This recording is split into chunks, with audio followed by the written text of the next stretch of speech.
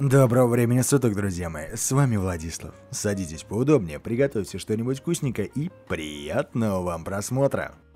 А знаете, я являюсь всецело фанатом ховеров. Мне нравится их стрейф, мне нравится их скорость, мне нравится их маневренность, но мне не нравится их устойчивость. Поясню.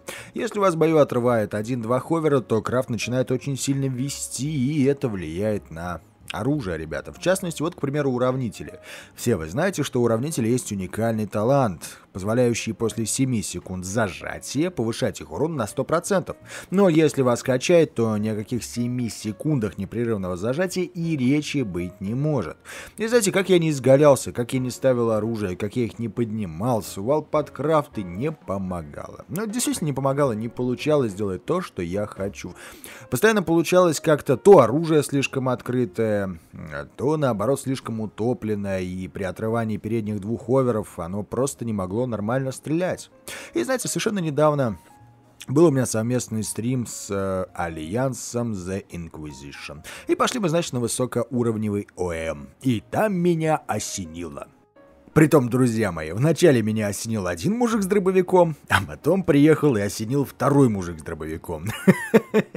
Но собственно, будучи человеком внимательным и все-таки старающимся наблюдать за своим противником и а, подмечать все лучшее, что он делает в своем крафте, чтобы потом поставить себе это на вооружение, я увидел очень интересное строение.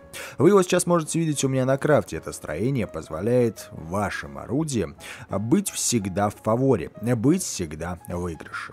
Как его делать, как его собирать, я расскажу чуть попозже. Это на самом деле очень просто. А сейчас я хочу вам поведать про его реально очень хорошие плюсы. На самом деле, в основном эти плюсы для ховеркрафта, но честно сказать, мне кажется, даже на обычном крафте такую люстру не помешало бы использовать. И об этом поподробнее.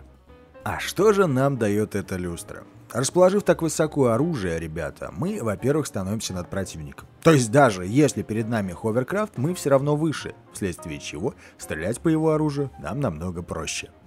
А вот крафту противника наоборот. Ведь э, ему приходится целиться в очень непонятно расположенное оружие, сверху, да к тому же э, прикрытое двумя отвалами. В общем, бой для него превращается в сущий ад и садомию. Если у него орудия стоят не на уровне ваших стволов, то, скорее всего, вы с легкостью и непринужденностью оторвете ему нафиг его вооружение. При этом ваше будет всегда иметь отличные углы обстрела и возможности вести постоянный огонь, что снова делает уравнители на ховерах эффективным эффективными.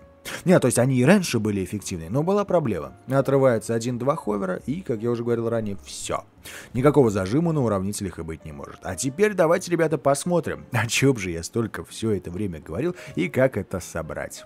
А речь, собственно говоря, шла об очень простой, но в то же время правильной люстре. Ну, назовем ее люстрой. Сразу говорю, это не моя подделка, это не моя разработка, как я уже говорил, я просто подсмотрел ее. Ну а почему бы и нет, ребята, почему бы вам не рассказать о действительно хороших и эффективных решениях на крафтах? При этом, как мне кажется, данное построение очень неплохо смотреться будет и на обычном колесном крафте, потому что даже в случае с колесным крафтом оно делает вас выше вашего противника и ставит вас на уровень ховера. Ну, если по какой-то причине вы все еще не купили себе ховера, не успели или не захотели. Для начала нам понадобится два лафета. Мы просто берем и переворачиваем их. И, в общем-то, это основа всей нашей конструкции. Стоит учитывать, что лафеты очень прочные. И не стоит глядеть на то, что у лафета 51 структура. Нафиг там было, попробуй его отшиби. Лафет пропускает сквозь себя пули, поэтому его 51 структура на самом деле очень, очень крепкая. Лафеты реально могут выдержать очень много. По сути, лафет по прочности ничуть не уступает паровозному отвалу. А иногда даже выдерживает намного больше, чем сам паровозный отвал. Так вот, установив на крыше своего крафта два перевернутых лафета, сверху мы ставим небольшую окантовочку. Притом очень важную роль играет именно два отвала малых. Если у вас их нет, то качайте, ребята, скитальцев. У них вы откроете два отвала. Притом отвал, как мы с вами видим, ребята, мы ставим не внизу, а мы ставим на верхнюю секцию, чтобы он прикрывал наше оружие. Также сверху у нас располагается три наших орудия. Притом вполне можно заменить центральный уравнитель на Аврору. И вы знаете, при стандартном расположении Аврора очень часто теряла противника из виду. А вот эта вариация не теряет противника из виду. Друзья мои, мне очень понравилась эта сборка, мне очень понравилось, как она себя показывает в бою и как она работает. Но в частности, мне очень понравилась люстра. И теперь любой ховеркрафт я собираю именно с этой люстрой. Чего я вам советую. Также вот на выставке Arley King уже собрал довольно-таки неплохой крафт. Foco Web Bug. У нас, собственно говоря, сейчас, ребята, проходит такое интересное мероприятие на стриме, собственно, сегодняшнем, который был по Crossout у, даже я вот там сейчас скажу его название, давайте, какое же мне название? А, вот, а, Crossout, тест крафта, cobweb, нижний слэш, hover, нижний слэш, v2. Так вот, там акция, ребята. Вы предлагаете свой крафт в комментариях под именно стримом cobweb тест крафт hover V2, вы предлагаете свой крафт на тему именно Cobweb Hover. Как бы вы могли лучше модернизировать вот этот вот базовый крафт? Что бы вы могли из него лучше сделать? И я уже вижу, что уже сделали лучше. Вы пишете в комментариях под видео название крафта. Кстати, можете посмотреть, там тоже уже вот выложили один крафт, как я говорил, вот он на выставке. Крафт просто обалденный, мне, честное слово, действительно нравится. Он, во-первых, и легче моего, и получился и с уравнителями, и с Авророй, и в то же время очень даже маневренный. Единственное, что его, как мне кажется, недостаток, это 8 ховеров. Но это, как говорится, лечится. Можно снять боковые вот эти планки и поставить 10 ховеров. То есть вы выкладываете туда название своего крафта, который вы придумали на тему Cobweb Hover, а именно вот такого вот, и лайкаете те, которые вам нравятся. И тот крафт, который наберет наибольше всего лайков, он попадет в видеообзор автора этого крафта, и я приглашу на видео, чтобы он рассказал, как же он его собирал, чем он руководствовался и вообще, какой он удалой молодец. Так что, друзья, не забываем. Видео, точнее стрим, Cobweb, о, Crossout, Тест крафта Cobweb Hover V2. 1440 пикселей, 60 FPS стрим, э, который прошел абсолютно недавно. Даже вот ссылочку я его, скорее всего, размещу в описании под видео, чтобы вам проще было найти.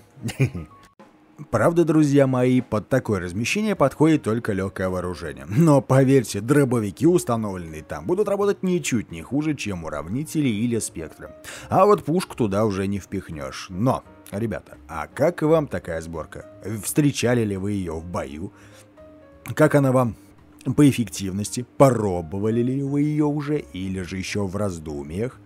Ребят, напишите, пожалуйста, в комментариях под видео. И как вы бы могли ее улучшить? Вообще, на самом деле, здесь буду рад, если вы будете писать предложение о том, вот, мол, Влад, а вот я вот знаю вот такую вот хорошую сборку на ховерах, вот с такой-то вот люстрой, которая еще лучше может нагибать. Ребят, давайте поможем друг другу собрать действительно хороший крафт. Поможем сделать, точнее, сделаем вместе что-то идеально крутое, а? Ребят, по-моему, классная мысль. Мне нравится. Надеюсь, и вам тоже. Ну что, друзья, Спасибо за просмотр. Если вам понравилось данное видео, не забудьте поставить палец вверх и подписаться на канал. С вами был Владислав. Надеюсь, я смог облегчить ваш геймплей и сделать его еще более качественным и еще более лучшим. Попутного ветра, как говорится, вам ваши ховеры, хорошей, мощной, слаженной команды, эффективного крафта и постоянного МВП вам в паруса. Ну а я с вами прощаюсь. Играйте, выигрывайте. До скорых встреч. Пока-пока.